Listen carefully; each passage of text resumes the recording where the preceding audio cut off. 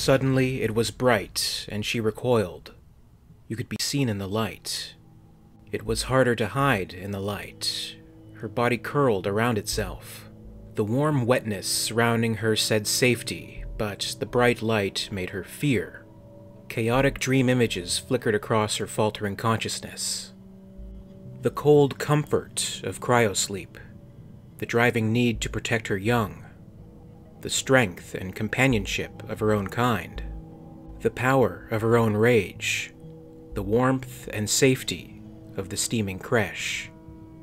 The images were meaningless and meaningful at the same time. She recognized them on a level far beyond consciousness, far beyond learning.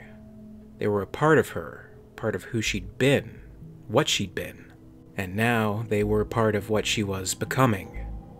She floated in the gelatinous, comforting warmth, trying to hide from the light and the sounds, murmuring, distant sounds that were outside of her, inside of her. They came and went, the sounds, meaning nothing, meaning everything. She heard the inside sounds again, one so much stronger than the others, the one she always listened to, the one she tried so hard to remember. She heard it whisper. My mommy always said there were no monsters, no real ones, but there are. If only she knew what that meant. Perhaps someday. So are the words of the Alien Resurrection novelization by A.C. Crispin, describing the first thoughts that befall an embryonic Ripley 8 gestating inside the Auriga's lab. Ripley 8, the clone of Ellen Ripley, experienced what Dr. Gediman described as an unexpected benefit of the genetic drift, collective memory, passed down generationally at a genetic level by the aliens, almost like a highly evolved form of instinct, perhaps a survival mechanism to keep them unified, keep their species intact, regardless of the differing characteristics they may have to adopt from their varied hosts. But how much does Ripley 8 remember of her past life? In the originally released film version of Alien Resurrection, there is a vague notion that the clone has memories of once being Ellen Ripley 200 years prior, but there are no specific references to what those memories may be. The special edition version of the film, however, includes some scenes previously deleted that hold clues as to what Ripley 8 remembers. These were scenes included in an earlier draft of Joss Whedon's screenplay, which included all of the moments restored in the special edition version and plenty more that differently shaped the film, and differently shaped Ripley 8's struggle with remembering her original life. These struggles may be best retained in the novelization, based on that earlier screenplay, which has the benefit of outright describing Ripley's thoughts and the dreams that haunt her intermittently throughout the story. With the special edition version, the earlier screenplay, and the novelization, we get a better idea of what Ripley 8 remembers, how and why she remembers what she does, and how it all contributes to the character's arc. While Ripley 8 is not the Ripley we all know and love from the original three movies, she remains a fascinating character all on her own, enhanced all the more by what was actually left out of the film. In this video, I'll be looking at scenes from the script, novelization, and special edition, piecing together the lost memories of the lost memories, and the struggle of Ripley 8 that mostly went on in her own mind.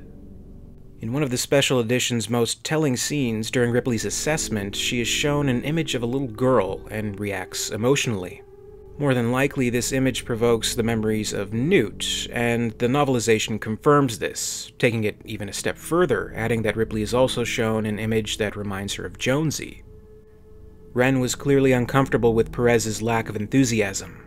He wiped a bit of dirt off the video screen as the doctor working with the host held up the picture of a big orange cat, she looked at it, hesitated, then looked away, frowning, as if searching her memory.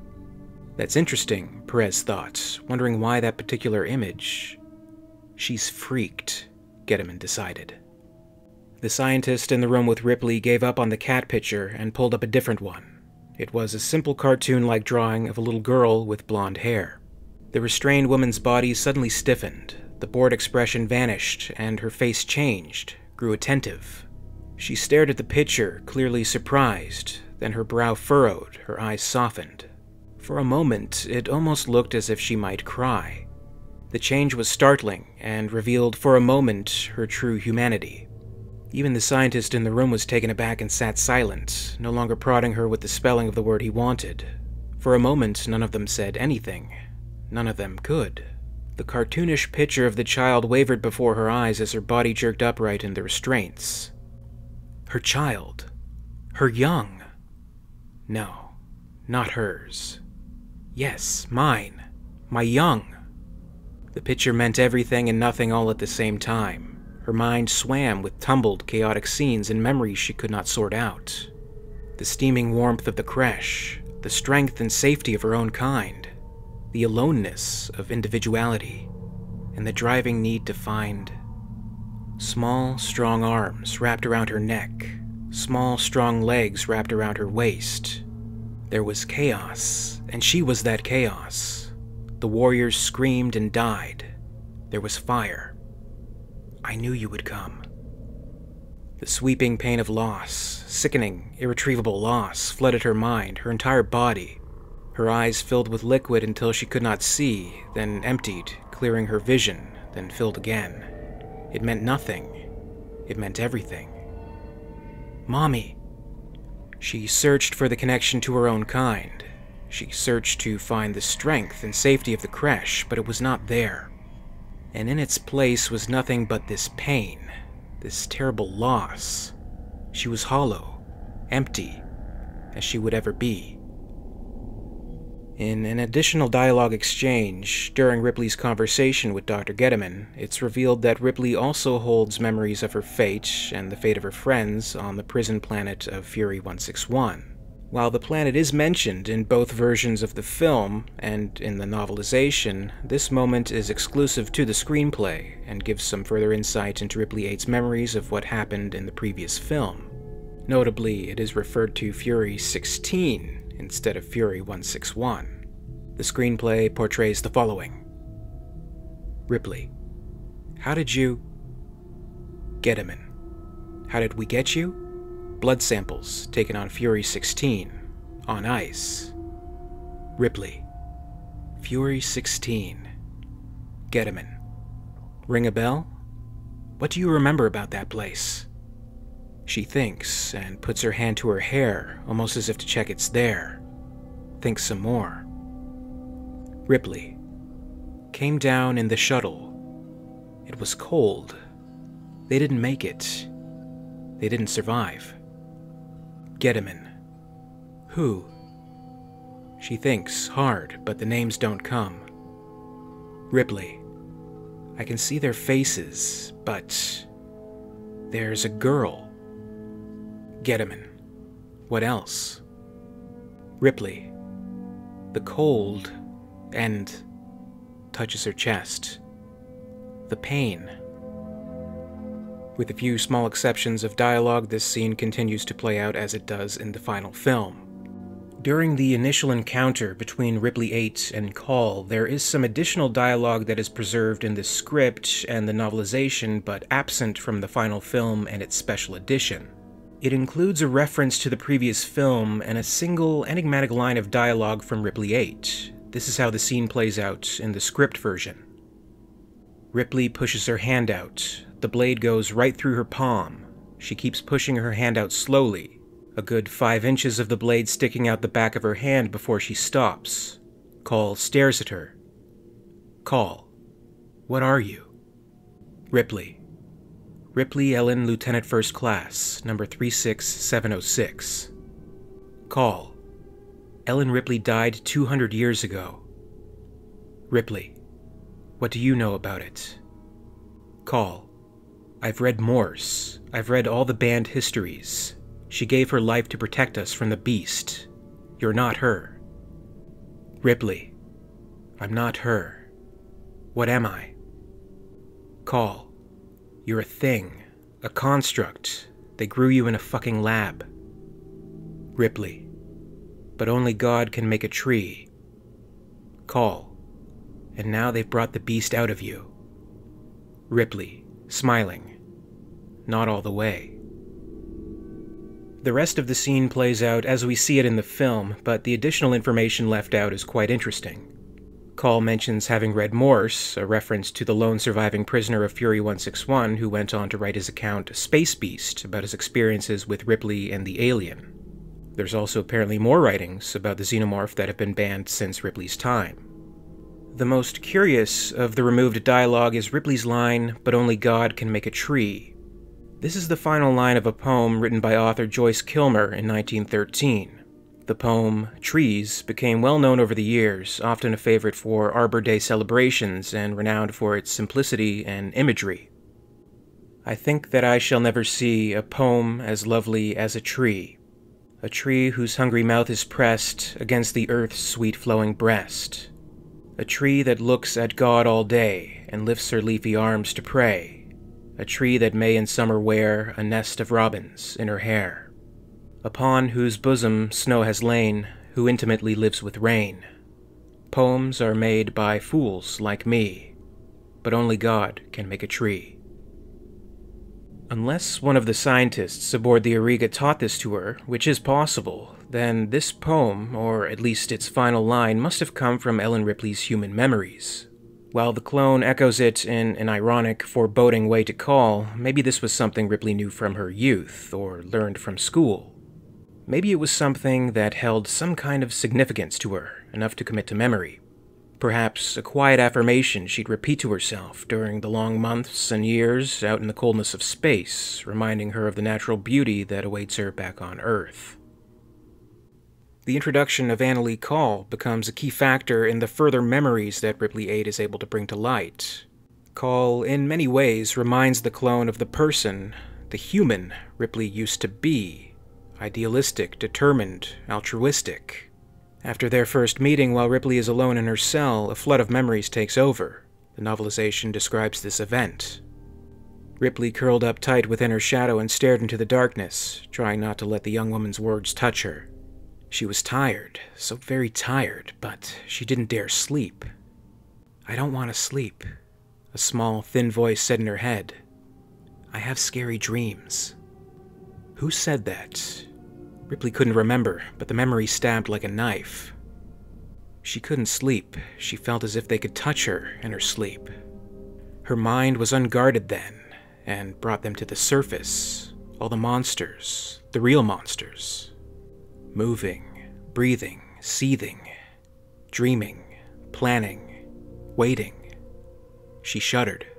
They were a perfect organism, with only one true function and that woman, that small young woman, she couldn't understand. Its structural perfection is matched only by its hostility.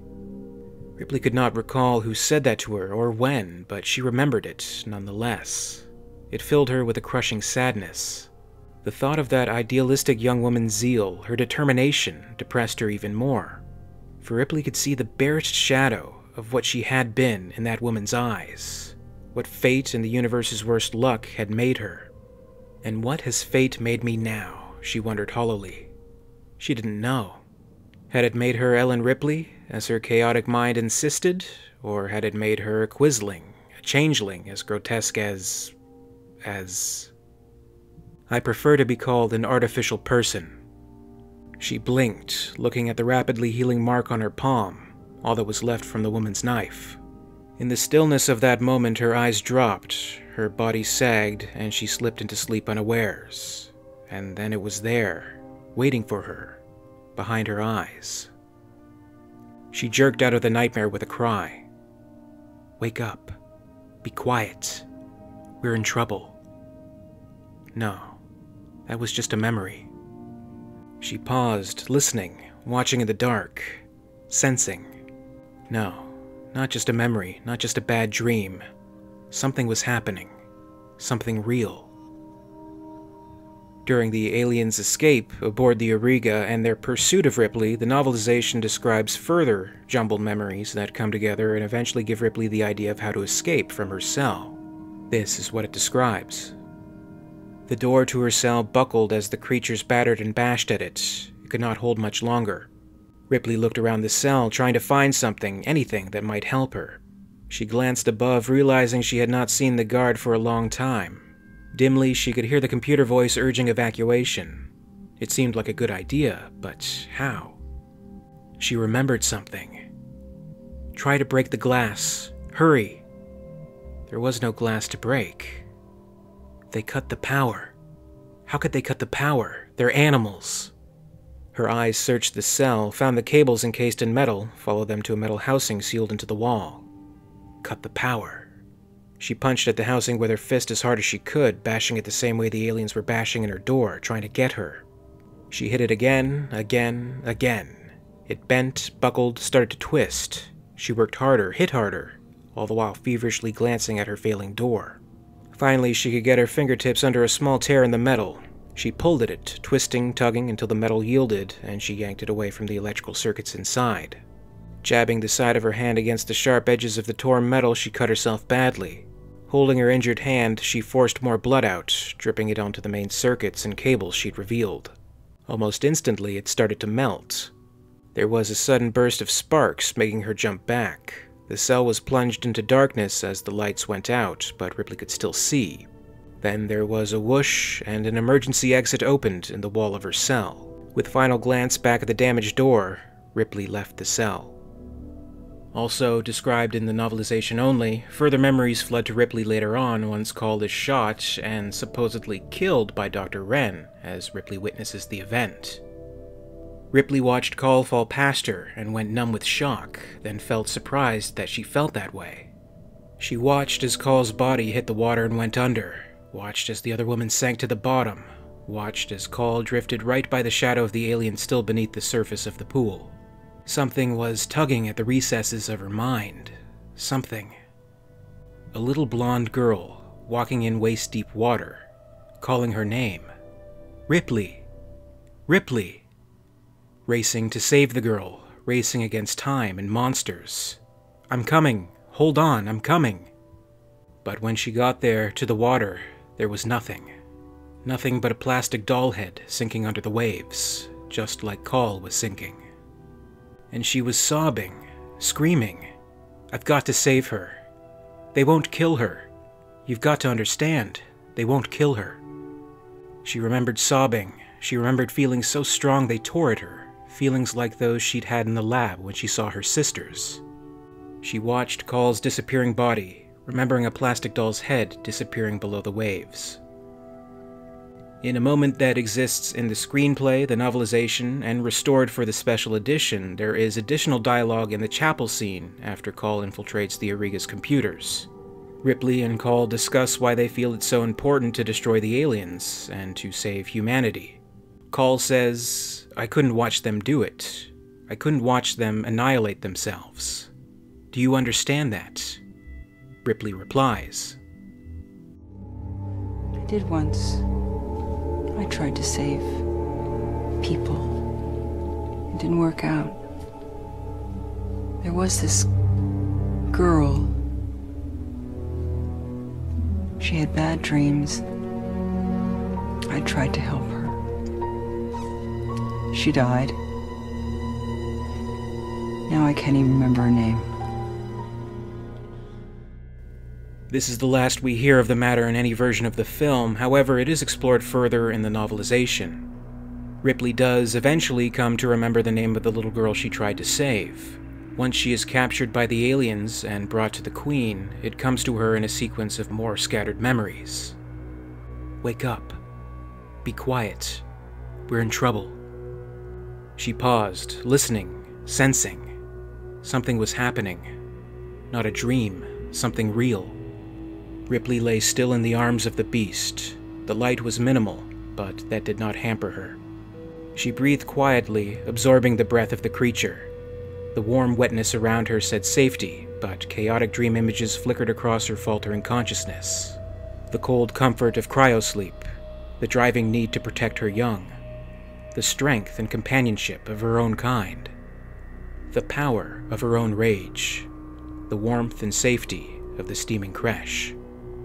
The images were meaningless and meaningful at the same time. She recognized them on a level beyond consciousness, beyond learning. They were a part of her, part of who she'd been, what she'd been, and now they were part of what she was becoming. She floated in the humid, comforting warmth, wanting to hide.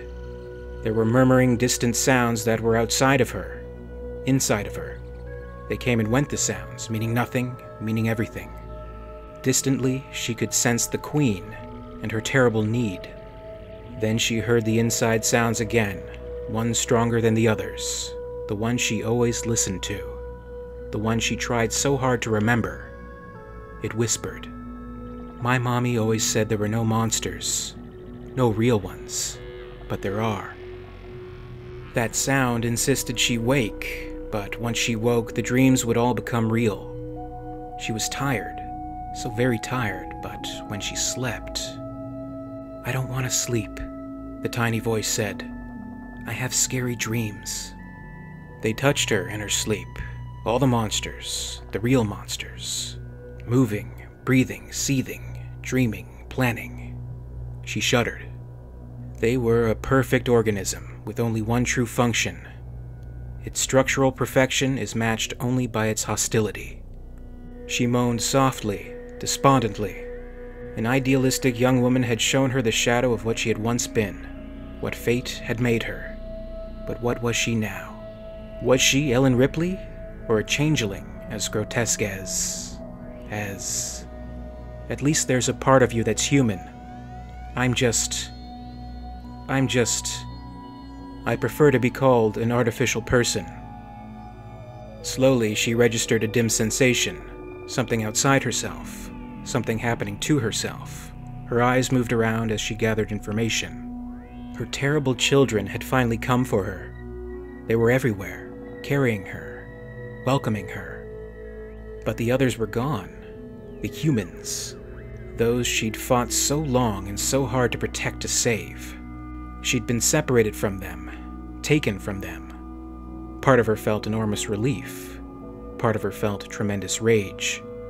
She facilitated between feelings as she lay in the arms of the beast, a cartoonish picture of a blond child wavered in her mind, gradually replaced by a clearer image of a real child. Her child? No, not hers. Yes, mine. Her mind swam with chaotic memories, the steaming warmth of the creche, the strength and safety of her own kind, the aloneness of individuality, and the driving need to find small, strong arms wrapped around her neck. Small, strong legs wrapped around her waist. There was chaos. The warriors screamed and died. There was fire. I knew you would come. She blinked, confused, her mind a sudden shambles of fragments, memories, instincts she could not sort out. The sweeping pain of loss, sickening, irretrievable loss, flooded her mind, her entire body. It meant nothing. It meant everything. Newt. My name is Newt. No one calls me Rebecca. I'm coming, Newt. I'm coming. Mommy! Ripley searched for the connection to her own kind. She searched to find the strength and safety of the creche, but it was not there. And in its place was nothing but this pain, this terrible loss. She was hollow, empty. Dimly, she looked at the huge warrior holding her and longed to ask him the same question she had asked the others, the humans. The question no one would ever answer. Why? Why? As the memories of Newt's voice ricocheted around her brain, she determined she would have the answer. She would take it from them. In spite of their size, their strength, in spite of their ferocity and hostility, she would take it by force. When brought to the cocoon chambers of the Auriga, Ripley 8 also remembers what she had seen inside the colony of LV 426 during the events of Aliens. The novelization describes the following Their arms and hands and legs were all fastened down, glued with ropes of exudate to the walls of the huge cylindrical room. Vaguely, she remembered Call's mechanical voice saying something about activity in a waste tank and wished she'd paid more attention. The eight people she could see were all trapped against the walls of the circular tank. Soldiers, researchers, all stuck like giant flies, half cocooned. She remembered a similar scene. All the colonists from Hadley's Hope, cocooned to the wall, growing chestbursters. Most of them had emerged, but everyone here is still intact. Frantically, Ripley tried to figure out a way to escape from the waste tank, but from where she knelt, she could see no doors, no exits of any kind.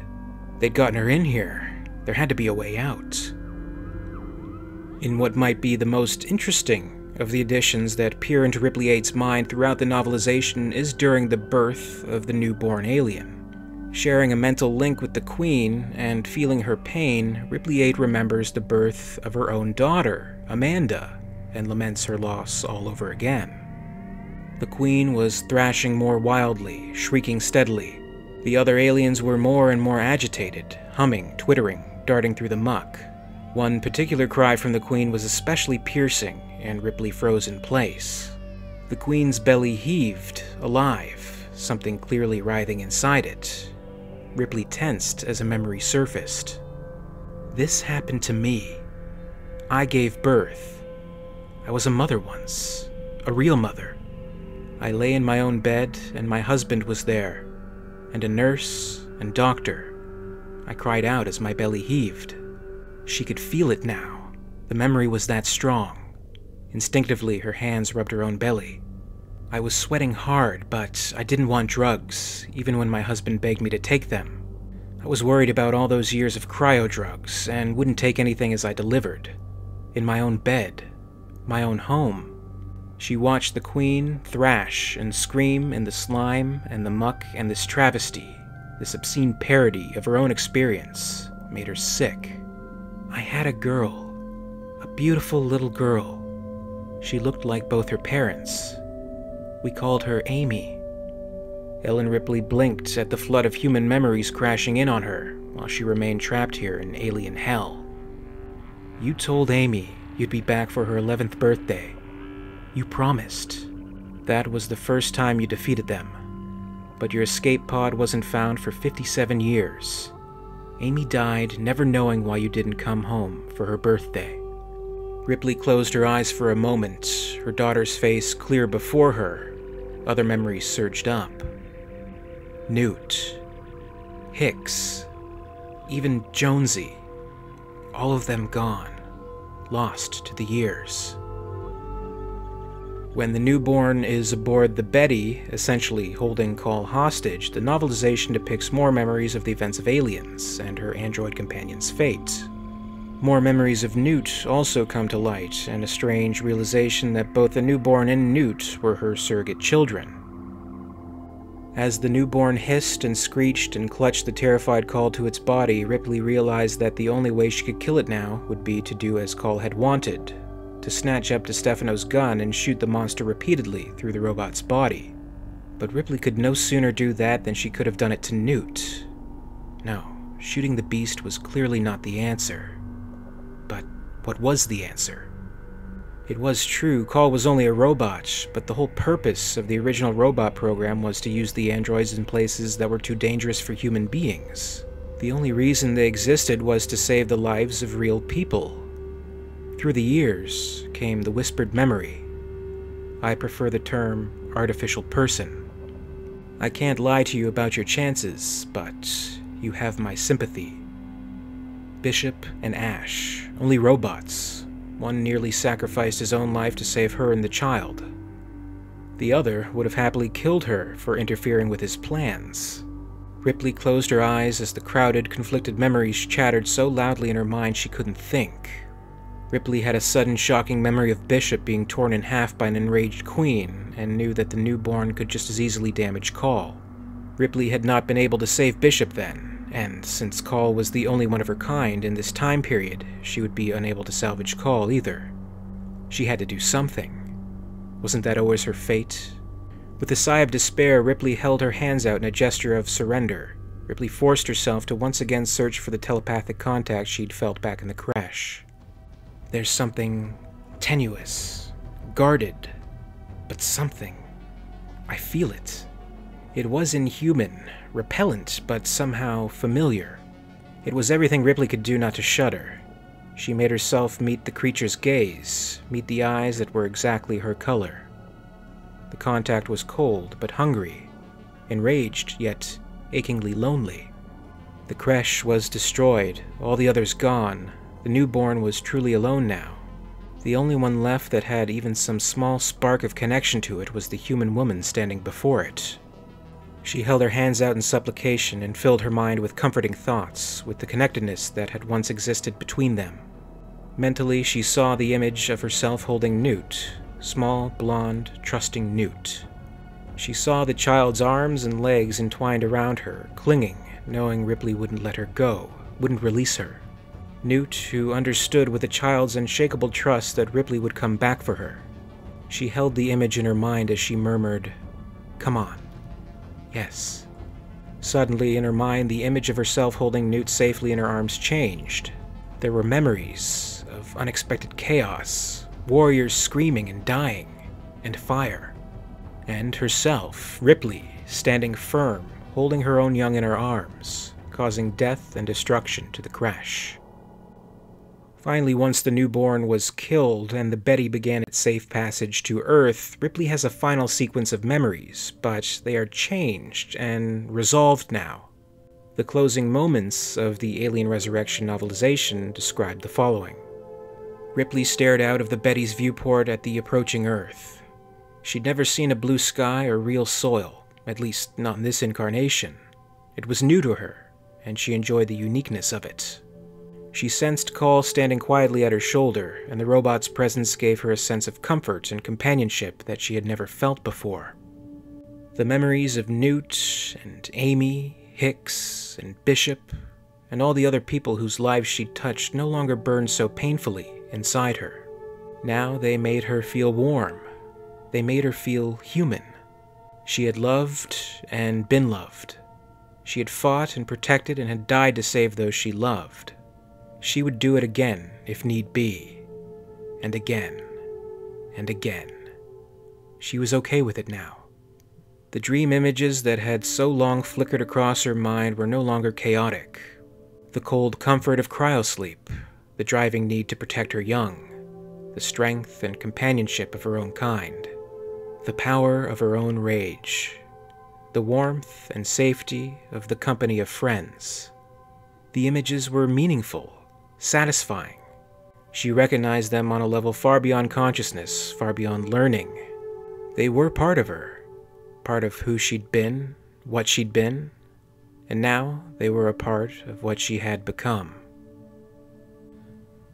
While the special edition of Alien Resurrection restores a fair amount of previously unseen footage cut from the original film, and Joss Whedon's earlier screenplay has a wide variety of details that didn't make it, it's the novelization that stands as a completely different beast.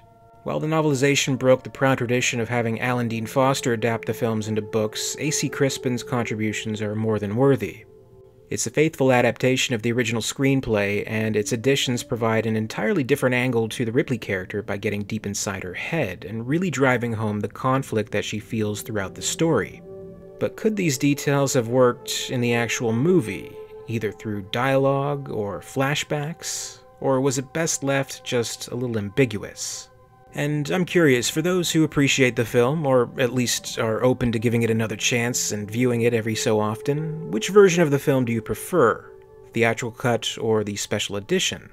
Comment below and let me know what you think. And as always, I'd like to thank you very much for watching today. I really appreciate it. If you enjoyed this video, please make sure to give it a like, and you can also subscribe for all the latest videos from the channel. A very, very special thanks goes out to Weyland Yutani executives Emmerich, Mark Fox, and in the Ellen Ripley tier of excellence, Lady Anne.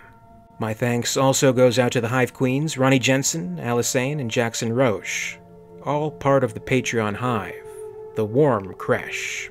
If you'd like to join the Hive and support the channel, check out my Patreon page for exclusive posts and contests. In the meantime, you can catch up with Alien Theory over social media. Follow at alien underscore theory on Twitter and at alien theory YT on Facebook and Instagram for more. And until next time, this is Alien Theory, signing off.